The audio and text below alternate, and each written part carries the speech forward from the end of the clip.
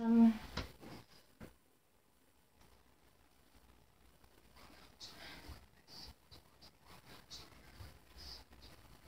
Mexico, world famous for its food, culture. We've heard the scary stories. Too, there's literally a Mexican hol- holiday, holiday called Day of the Dead. We all know the stories. I've seen many. I've seen many of you saying you're from there or asking to share more. So I'm gonna be generous and do it again. My name is Jade, and I'm, we're gonna go for a tough and scary urban legends, part two, number ten, La Llorona. Once upon a time, there was a Mexican village. There was a beau- there was a beautiful woman called Maria. She was poor. She was known for her beauty. A rich noble man was traveling through her village to stop distract when he saw Maria. He was so charmed by her beauty, he proposed to her immediately. She accepted. The wedding was planned, even even though the father was disagreeing. He was marrying into poverty. Maria and her husband built a new house. She gave birth to two twin boys. She always traveled, returned. One day, he never came home. A while later, as Maria and boy were walking by, she saw the familiar carriage with a younger, beautiful woman next to her husband. Maria flew, jealous rage. She was so angry, seeing, seeing her husband. She picked up her two boys and flung them into the river. By the time she came around, they were floating in the river face down. She then jumped in, hoping that they they see her soul to the to the land, unable to pass on to the afterlife due to the grief and murder of her two boys. They say if you hear her cries, misfortune, death is upon you. If you're a child, be extra careful. She's a, she loves children. They're hers. She may drown you. And that they too want to meet the same place. Number nine. El Sombrero. In some parts of Mexico, this this mysterious mysterious, it translates to the Goblin. He in English he wears a huge dark hat and dresses in, entirely in black, and and boots and belt. He preys on the young and even on women, and is he has an obsession with braiding hair and manes and tails of horses. He braids the hairs of dogs. People see the animals their dogs. They know the goblin. He say find when you can't find them. He has a large art and long hair. He arrives in ten a pack of mules. When he finds a woman he likes, he ties her up. He ties up. He ties them up.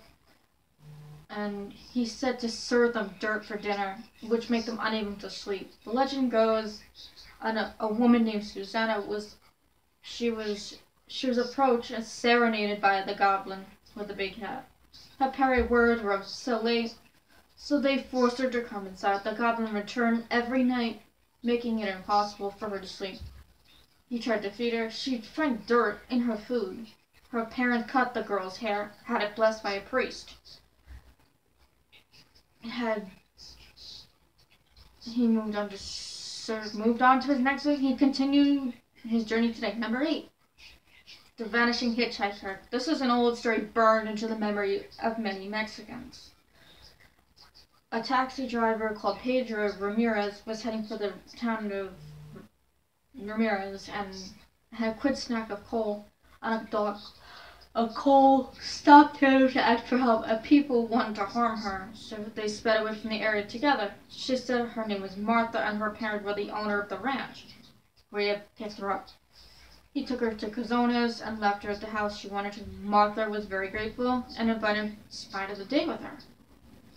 Her parents. She returned a few days later. He knocked on the door. An elderly came. He asked for Martha and explained how they met. She smiled that Martha was her daughter, which had been assassinated ten years prior by drug dealers outside of her husband's ranch. This wasn't the first time Martha's ghost had done this. And Pedro didn't quite, you know.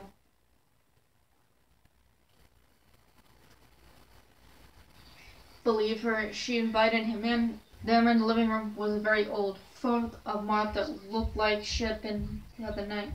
Many people get creeped up by this story, but like webtoon, who this young lady is.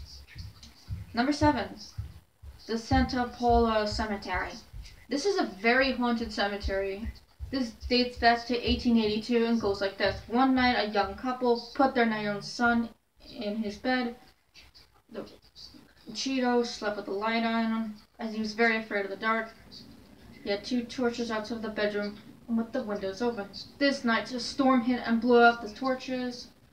His mother entered the room. It was icy cold. She rushed found him dead. He had died from a heart attack due to his pathological fear of the dark, and the torches went out. A rumor spread that it exploded inside his chest, and it was a curse.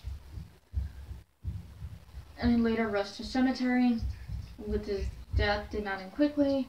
His coffin was found lying on the ground next to his grave. The parents locals were shocked. The same thing happened. They continued like this nine straight days. His parents began the boy who was so afraid of the dark. He didn't want to be kept in the ground away from the light, even in death. So they created a stone cone on a pillar above the ground so his tomb could see sunlight. Since then, people in hearing seeing a boy that matches the description. Wondering one tonight. Others have seen this. Mystery balloons all above the gravestone. Carried by a small child. People even visit this grave and want to see the signs of him at night for his sightings contributes number six. The Cadejo. This is from southern Mexico folklore the white and black Cadejo. They are dog-like creatures, a good company home later. The black Cadejo is feared as an evil spirit. It does the opposite and tries to kill people. But the person who, because they're an idiot, apparently, the person saved from the attack by the white Cadejo until the good Cadejo wins. It's a sight behold, while the dog-like creatures, they're much like bigger than dogs. Some of which can be big as cows, burning red eyes, and goat shoes. They lurk in graveyards and dark alleys, waiting for the next victim to pass by. With smelling, and they smell like urine and and sulfur. And they move in a demonic, dangerous, short, jerky movements. Is that its gaze can freeze you in place. We easily attacked. Number five. La Mala Hora. This means the evil, the evil one. This being in, in parts of Mexico is a wicked spirit, demon, or country roads, waiting to attack anyone who walks alone. Crossroads, mostly. The people who have seen it, they fear it. They fear it more than the devil itself. A lump swirling through the night air and changing shapes. And changing at will a ghost, a ghostly black shroud. Nobody wants to see that.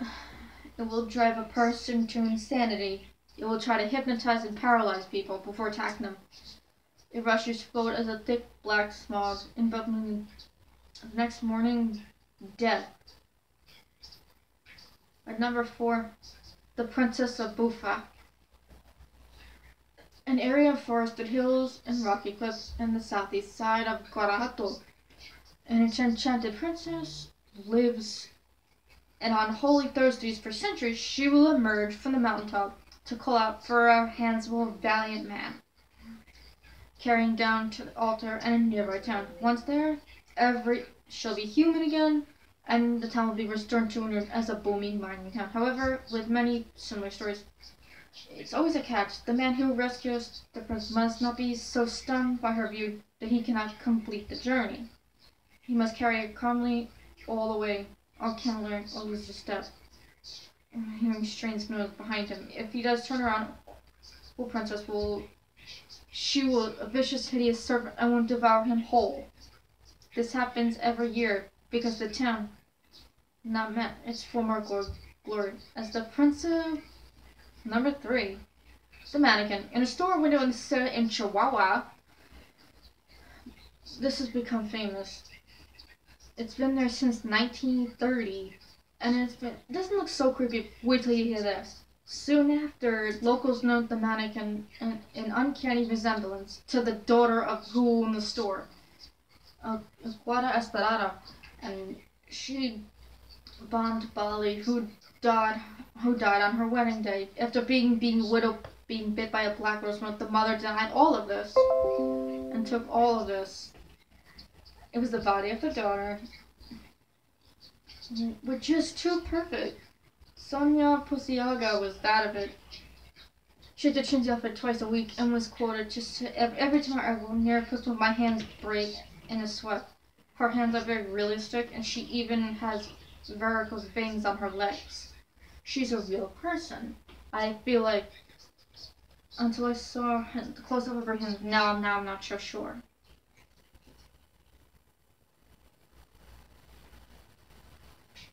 Mm, I'm never going near that statue. Number two, the island of dolls. You can island. There's an island that attracts you. Go is covered in creepy dolls of every shape and size. There's a famous story as why there was a girl found drowned in mysterious circumstances many years ago at the island. It was called Don Julian Santana. He saw a floating doll robot. Hung it to a tree as a sign of respect and to helping her into the next life. Don Julian lies that of the spirit of the girl. Then he realized it was done far too late. He believed the doll was possessed by the spirits of the dead girls from all over the world. His friends said he went mad, driven by an unlikely spirit when he started. After 50 years of doll hanging, uh, he was found dead, drowned in the same area where the girl was. And he's joined the others on the island. People visit there, honor him, the girl, and the spirits of the others. However, people don't stay too long, and almost and no one will spend on the island of dolls. Number one, the seventh son. This is an area near Toledo. In 1960, there was a boy who lived in the village. His his name was Federico.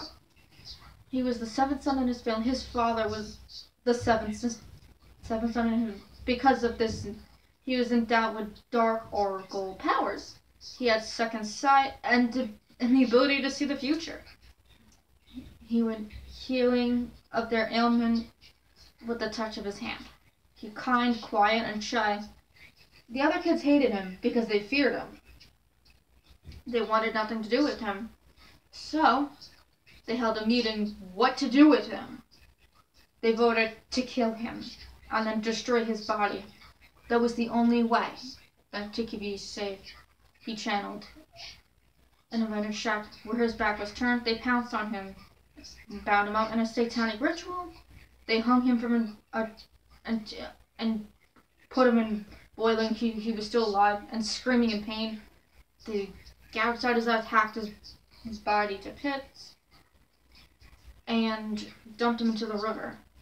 The next day, some villagers said one of the one of one of the elders got no reply. They entered. They stopped. There was the elder, dead on the floor.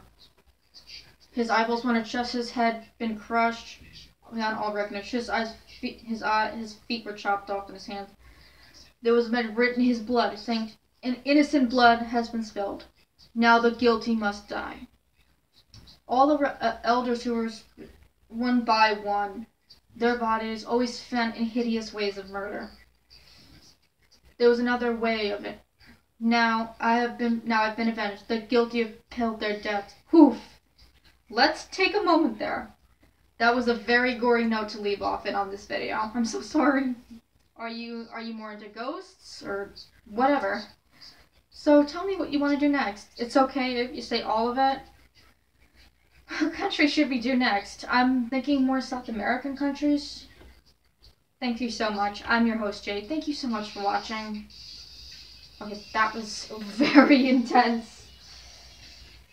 Holy mother of God. And I thought Nightfall was gonna come join. Whew. Sorry, bud. Should have been here sooner. But we're all good.